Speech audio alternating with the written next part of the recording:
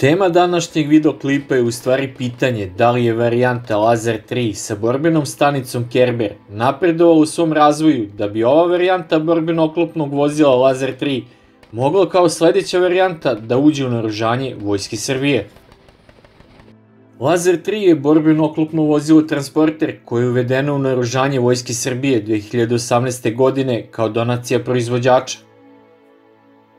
Procedura usvajanja naoružanja kao donacije državnog preduzeća Vojsi Srbije je bitan moment, jer se tada primenjuje samo verifikacija taktičko-tehničkih karakteristika koje deklariše proizvođač. Lazer je osmišljen, konstruisan i proizvodi se u kompaniji Jugoimport SDPR. Na konstrukcionom razvoju modela ovog borbenog vozila preduzeće Jugoimport SDPR započelo još 2008. godine – kada je funkcionalni model Lazer BVT prvi put prikazan javnosti na sajmu naoružanja i vojne opreme u Beogradu, partner 2009. Uporedu sa brojnim promocijama ovog modela, u Jugo Importu su radili na unapređene verziji prototipa Lazer 2, koji je javnosti prvi put prikazan na partneru 2013. godine. Nakon brojnih ispitivanja i poboljšanja, odlučeno je da se krene u izradu nulte serije pod nazivom Lazer 3, koja je svečano predata Vojsi Srbije u decembru 2018. godine. Pogonska grupa Šeme 8x8 od svih 8 točka posjeduje nezavisno vešanje i obezbeđuje visok stepen mobilnosti vozila. Sve osovine su pogonske, dok su prve dve i upravljačke. Vozilo je opremljeno sa tri periskopa za komandira i vozača, Takođe posjeduje bočna vrata koja služe za ulazak i izlazak vozača i komandira. Članovi posade u zadnjem delu imaju izlaz u vidu automatske hidraulične rampe. Rampa se može aktivirati iz prostora vozača kao i dugmetom u prostoru posade. Broj članova posade zavisi od zadatka i naružanja kojim je vozilo opremljeno. Kada vozilo ima daljinski upravljanu borbenu stanicu sa mitraljezom kalibra 12,7 mm, Broj članova posade je 12, komandir, vozač, nišanđija i 9 članova koji se transportuju. U slučaju gradnje kupole, broj članova posade se smanjuje za 1, komandir, vozač, nišanđija i 8 transportovanih vojnika. Vozilo takođe posjeduje i puškarnice koje omogućavaju da vojnici koji se voze dejstvuju iz streljačkog naružanja na potencijalne pretnje i pomognu u vizualnom uočavanju neprijatelja.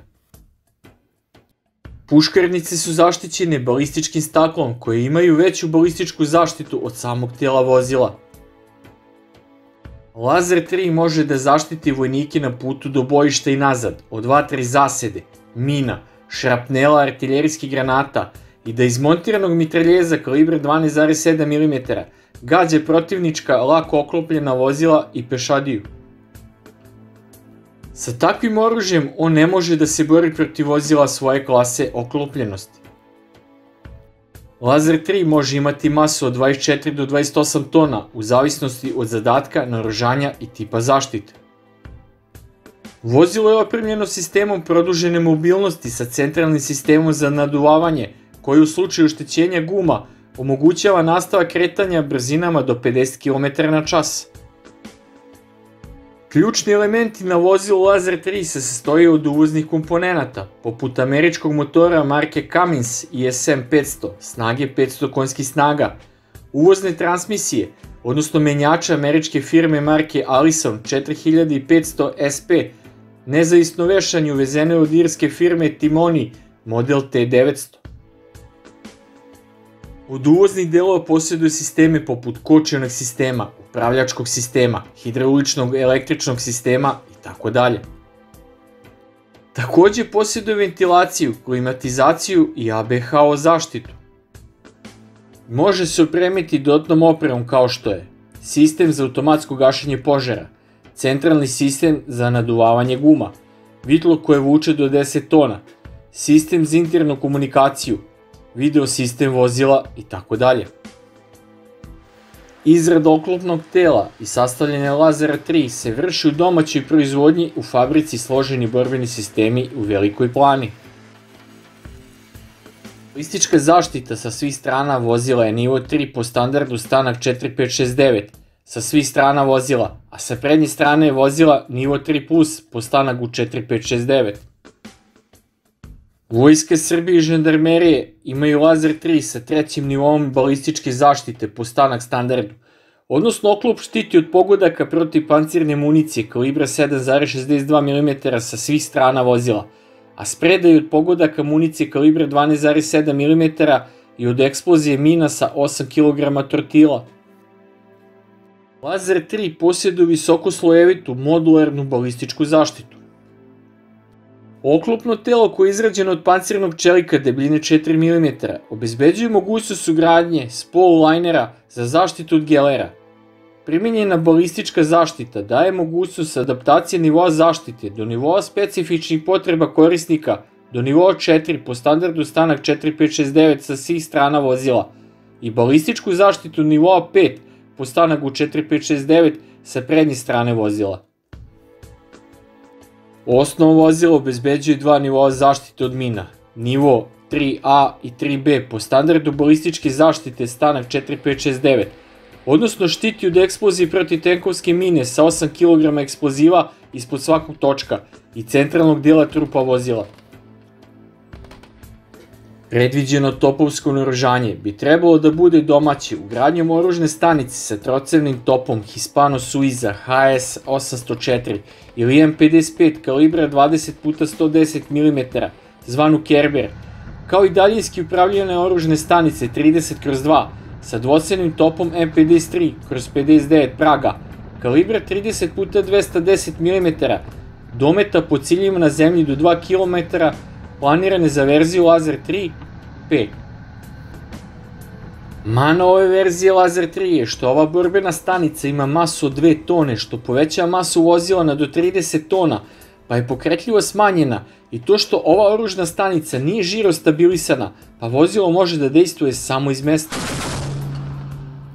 Iz uvoza je planirano ugradnje ruske daljinski upravljene oružne stanice 32 V01 sa topom Šipunov 2A42 kalibra 30 puta 165 mm, dometa do 4 km, ispregnutim mitraljezom 6P7K kalibra 7,62 mm, daljine gađanja do 1,5 km, koja nije nabavljena na vreme u većim količinama, pa će se za serijsku proizvodnju Lazer 3 u verziji A1 kupiti kineska, turska ili možda izraelska oružna stanica sa automatskim topom isto kalibra.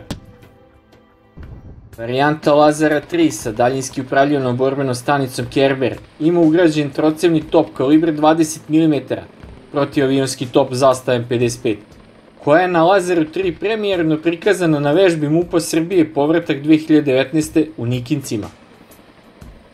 Sa ovom oružnom nadogranjom Lazer 3 takođe može da se svrste u borbeno vozilo pešadije, ali ostaje nejasno kako bi vojnik u toku borbe menjao doboš na otvorene kupoli kakvu ima Kerber. Kako mi je rečeno na vojnom prikazu Štit 2022, održano na vojnom aerodromu Batajnici, ovaj problem nije ni do danas rešen, iako se jednocena varijanta zastavljenog topa M55 i danas uspešno koristi na borbeno vozilu pešadije BVP M80A, na novoj daljinski upravljanoj borbenoj stanici DUBS 20 mm. Top M55 ima efikasni domet do 1500 metara za ciljeve na zemlji i kod borbenog vozila pešadije BVP M80, a pošto je jednocena varijanta ovog topa u pitanju, punjenje ovog topa se vrši preko elevatora i nema potrebe da se koriste municijski doboši kao kod trocevnog topa M55. Rešenje punjenja jednocevne verzije topa M55 na daljinski upravljanoj oružnoj stanici kod borbenog oklopnog vozila verzije Lazar 1 je određeno tako što se ovaj top punio preko redenika sa municijom, ali se opet radilo o jednocevnoj varijanti topa zastava M55. Ono što našim inženjerima i danas zadaje glavobolju jeste kako rešiti punjenje trocevnog topa sa nekim rešenjem koje ne uključuje punjenje svakog topa sa municijskim dobošem. Da li bi se u tom slučaju tri redenika zamrsila ili bi konstrukcija tri municijska elevatora bile previše komplikovano i gabaritno rešenje koje bi zauzelo dosta prostora unutar vozila. Sve u svemu kalibar 20 puta 10 mm daje solidnu vatrenu moć po ciljima na zemlji kada se spregne kao trocevni top. I sa novim sistemom za upravljanje vatrom, koji je već primenjen na novim DUBS 20 mm i DUBS 30 mm, bi efikasno mogao da deluje po ciljima u vazduhu i to bolje nego na BOV 3 koji ima jedno posadnu kupolu sa ovim trocevnim topom. A šta vi mislite, da li varijanta Lazare 3 sa Dubs Kerber ima budućnost u naružanju Vojske Srbije, s obzirom da još nema kupljenih uvoznih borbenih stanica sa topom kalibra 30 mm, a domaći Dubs 30 mm sa zastavnim topom M12 kalibra 30 mm, koji predstavlja dalji razvoj zastavnog topa M86 u slabijem kalibru 30 puta 173 mm, umesto kalibra 30 puta 210 mm, koji ima znatno veći efikat na cilju kao i kod topa Praga.